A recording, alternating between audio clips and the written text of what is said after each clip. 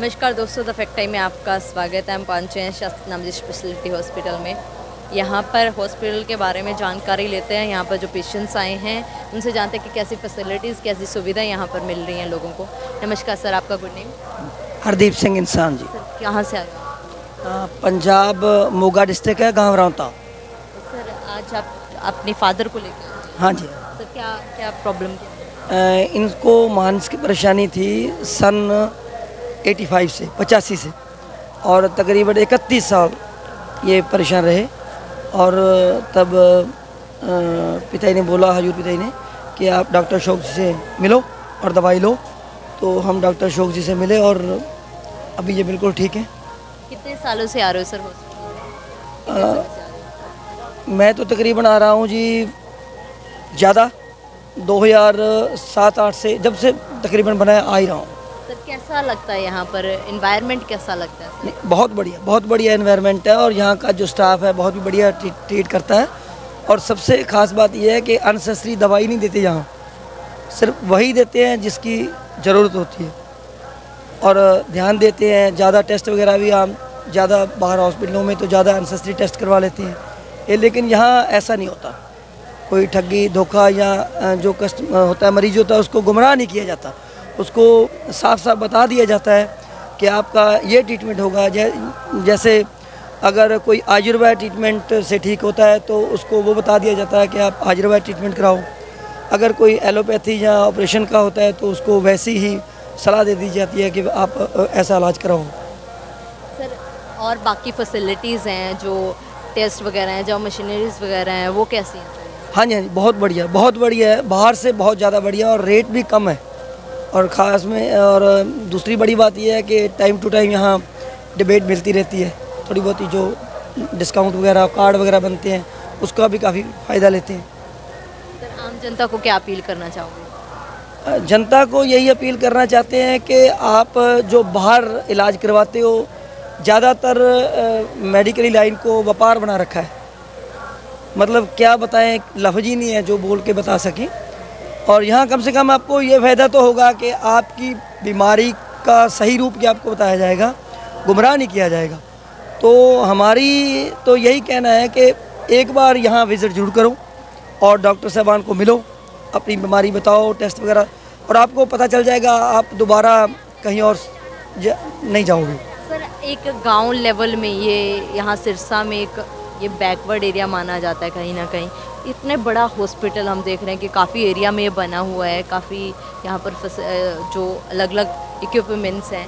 Sir, किसकी वजह से मतलब किसने ये इनिशिएटिव किया है इस तरीके से? ऐसा जी, ये तो जो गुरुजी हैं, उन्हीं का दिशा निर्देश हम कह सकते हैं, वरना ऐसी फैसिलिटी तो दिल्ली या बड़े बड़े हॉस्पिटलों में शायद ही मिले, क्योंकि वहाँ भी जो ज़्यादातर है तो ये सेवा भावना का होना चाहिए डॉक्टरी पेशा। लेकिन ऐसा है कि अब इनको बिज़नेस बना लिया है। तो उस हिसाब से देखा जाए तो वर्ल्ड में ये नंबर वन होगा। और चलो हो सकता है फैसिलिटी के फैसिलिटी ये कहीं और बड़े हॉस्पिटल में हो लेकिन वहाँ इन्वेस्ट बहुत होगा पैसा बहुत लगेगा। उस हिसाब से तो देखा जाए तो ये नंबर वन ही आएगा। और जैसे ये आप बोल रहे हो कि अम, अ, क्या कहते हैं रूरल एरिया में है ना? तो उस हिसाब से तो बहुत अच्छा है और ये गुरु जी से जो प्रेरणा लेते हैं, जैसे जैसे ये लंबे समय से, जैसे कह सकते हैं उन्नीस सौ से जब ये डेरा बना, तभी से धीरे धीरे बढ़ता बढ़ता और ये जो कह सकते हैं कि प्रबंधकी ढांचे ने भी जो किया और सभी साथ संगत का सहयोग कह सकते हैं जो है, शास्त्राम जी, ग्रीनस वेलफेयर फोर्स है तो उसका सहयोग भी है और साथ संगत का भी है। और सबसे बड़ी बात ये है कि दिशा निर्देश तो एम एम एस जी का ही है। सर, और भी ऐसे समाज हित के लिए कार्य है? सन डॉक्टर गुरमीत राम रेम सिंह चिंसा ने हाँ जी हाँ जी। सबसे बड़ी बात तो ये है कि जो ये समाज है, इतना दूषित हो चुका है।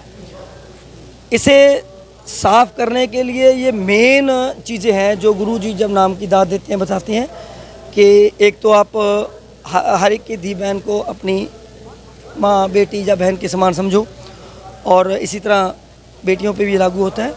और दूसरा नशा और तीसरा जो है माँ संडा नहीं खाना। तो जैसे एक छोटी सी भाषा में आ, मुझे जो अपनी समझ है उसके बताता हूँ अनुकूल मैं। जैसे कि जैसे कहते हैं आचार विचार और व्यवहार। ये तीन चीज़ें इन्हीं में से उपजती हैं। अगर ये आधार है जो गुरुजी बताते हैं कि ये चीज़ें सेवन नहीं करनी तो तभी इंसान अच्छा खाएगा शुद्ध खाएगा वेजिटेरियन खाएगा तो ऑटोमेटिकली विचार भी अच्छे होंगे। और जब विचार अच्छे होंगे तो जो व्यवहार है समाज प्रति वो भी अच्छा होगा। और जब व्यवहार अच्छा होगा तो ऑटोमेटिकली जो अच्छे समाज की सृजना होगी।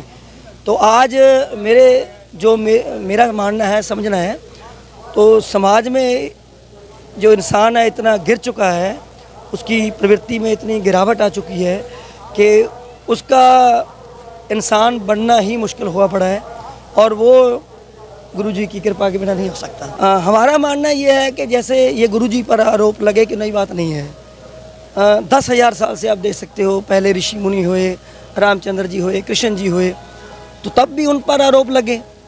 और आरोप और बाद में क्या है, समाज ने तब उनको नकारा लेकिन जब वो दुनिया से चले गए तो एक्सेप्ट किया।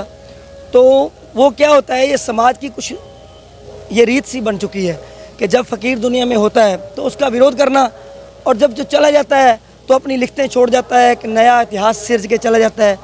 तो उनके पीछे फिर दौड़ते रहते हैं, फिर उसको ढूंढते हैं तो फिर वो बात नहीं बन पाती।